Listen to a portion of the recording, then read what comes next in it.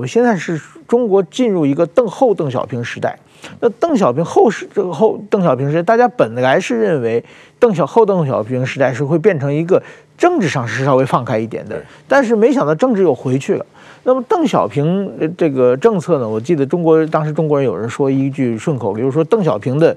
思想、邓小平理念。就是四叫什么呢？就是一块石头两只猫三条鱼四只鸡，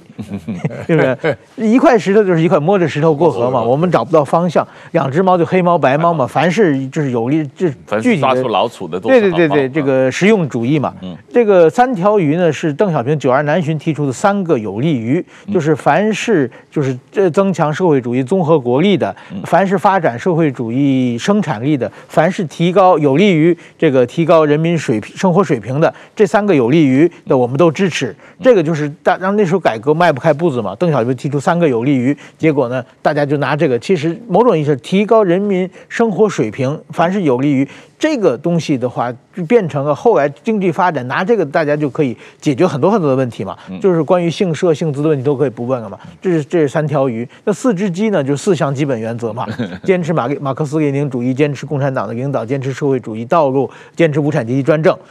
等于说他先放了三个实用主义的政策之后呢，最后呢拿一个呃意识形态共产主义给你罩起来，有个鸟笼子，对，有个鸟笼子。但是说当时说这个四这个四只四只鸡啊，四个基呃基本原则啊，它是邓小平时代是完全其实已经是名存实无的。大家说坚持中国共产党的领导是没有威望，坚持社会主义道路是没有方向。坚持无产阶级专政是没有对象，坚持马马克马克思列宁主义是没有信仰，就是说基本上是大随时其实大家是可以随便干的。但是没想到习近平上台以后呢，把这四个四项基本原则重新拾起来了，而去回头呢。把这个两只猫三条鱼杀掉了，然后呢，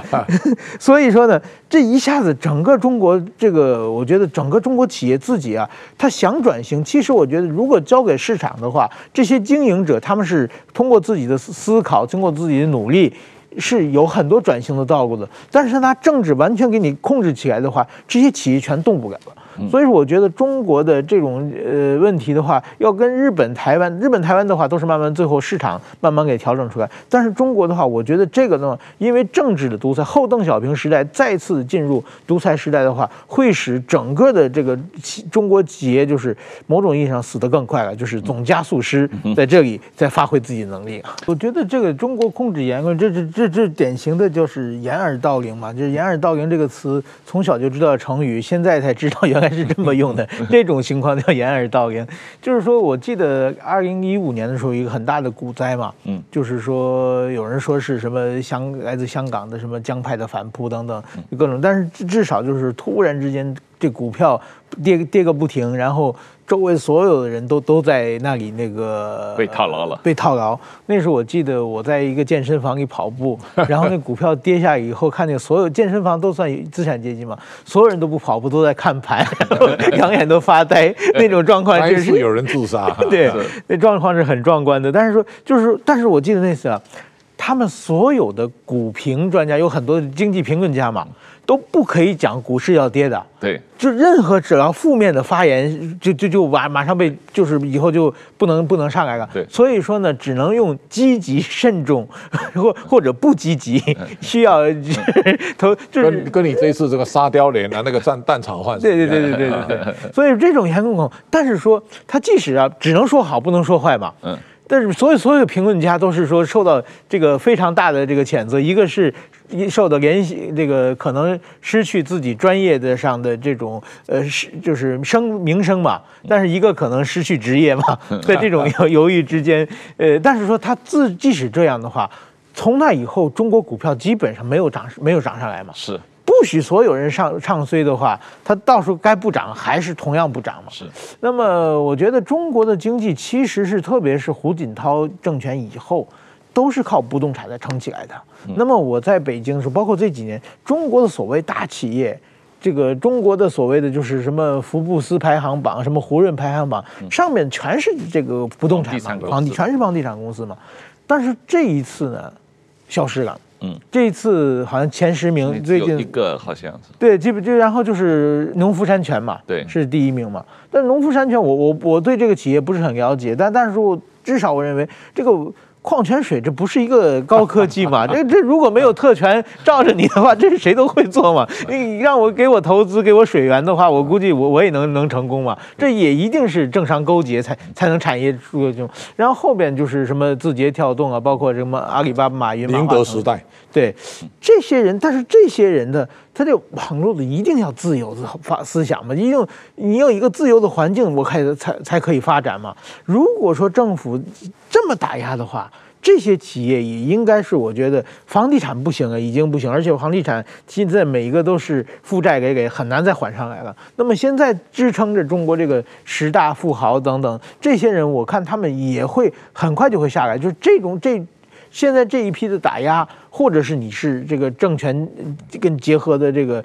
权钱交易非非常紧密的这种人的话，只要政权一交替，这种人都会被淘汰嘛。我们看到从。九十年代以后，中国的所谓的一一百富一百强什么的，就是说江泽民换胡锦涛这些人都都没有了嘛，或者是什么关到监狱里面去，或者是就是说破产啊，或者什么自杀啊，或者都都是悲这个下场都很惨的。这中国的富豪能够持续二三十年的富豪，像台湾的什么张忠谋啊，什么王永庆啊，这这些日本的松下幸之助啊，这在中国是没有的。中国基本上都是十几年。昙花一现，然后自己的后台老板消失了，这些人就消失嘛。嗯，呃，基本所以说，我觉得现在中国这个怎么说呢？习近平要打压下去，这群人是我觉得是江泽民、胡锦涛时代起来的人。那么我想也也一定有很多跟胡锦习习近平的人可能。会被推出来嘛？嗯，一可能新新成为一一代一代新的富豪或者领袖中国经济，但是说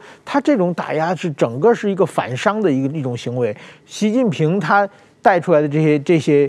靠近习近平权力周围的这些商人能不能成功？的话能能持续多久？我认为也是很难很很很难持持续很久的。所以中国的我觉得已经进入一个下降的快速循环的一个渠道。过去我在北京的时候啊，有的时候经常过那个有一一个建筑物前面，一直是每次都是人山人海，根本看不到建筑物什么东西。我刚到北京的时候，后来问他我说这是什么东西？他说美国总领事馆申请去签证的，每次都以为集市在闹事呢。然后呢，后来我有一次去去沈阳。去沈阳也做，沈阳有各国的这个领事馆嘛，然后每个领事馆前面啊都是武警，然后门锁着，然后有前面有铁丝网，是那铁墙是不让爬墙的。然后走走走，看这个西班牙总领事馆，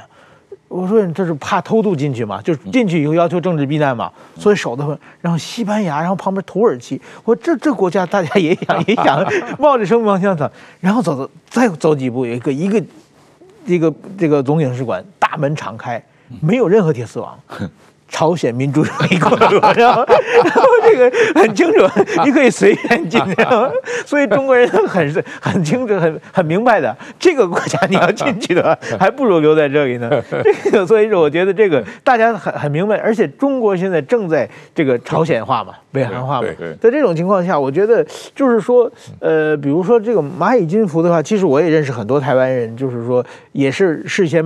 就是也投资了嘛，后来就就没没有了嘛。但是我觉得这些人呢，他们就是说，他们只看那个报表啊，觉得中国还很有希望，而且认为这个蚂蚁金服啊，就是不不知道出个什么问题啊，一定会解决的。不知道有什么对中国存在很大的幻想，又很大不不知名的信信心啊？为什么有啊？因为我想他们如果是可能纯粹做金融的人来说。光看报表的话，中国的报表是最漂亮的嘛？你投资多少钱，然后多多多长时间以后，可能给你的回馈率是最高的。但是说看不到旁边的风险，这个中国的风险要比别的国家大的很多很多很多。但是说这个都都都完全是，就是说中国是一个人人治社会，就是那个。中国的这个领导人一拍脑门就就可以决定很多很多人的命运啊！就是我看中中国的企业，刚才讲的一一个是这个，就是我我看就是，呃，全世界的企业，其实日本泡沫经济的话时候，全世界的比如说十大企业、五十大企业的话，日本很多公司都是榜上有名嘛，像什么索尼啊、什么 NEC 这些。但是现在日本企业都不行了嘛，现在都是美国刚才讲的那些巨头嘛，就是说什么谷歌啊，什么这个脸书，啊，中国的企业上海，中国企业是最奇怪的一个报表，就是中国或者是中石油啊那种巨无霸大的国国国企，对，或者是就是阿里巴巴这种新型的这种，就是我两种，其实这两种都是靠政商结合来来这个形成的，而且都是你像中石油这些人，就是周永康事件一下倒了那么多嘛，现在这马云天天的逼捐，为了捐那么多钱，然后自己去。就我觉得又又被又被罚款嘛，然后又被逼捐嘛，对，然后自己多少年被软禁在中国软禁很长时间，现在跑到西班牙去，也完全不敢见记者，也不敢说一句话，到底是在那里表演还是 都不知道。所以我觉得这这种人都是很可怜。这这所以说，我觉得在中国的企业的风险其实都是政治风险，后面的看不到的政治风险。你千万不要光看他那个报表，他那个经济成长率，他那个回报率来判断你投资。我觉得这个政治风险是报表上反映不出来的，但是其实是非常非常呃危险的。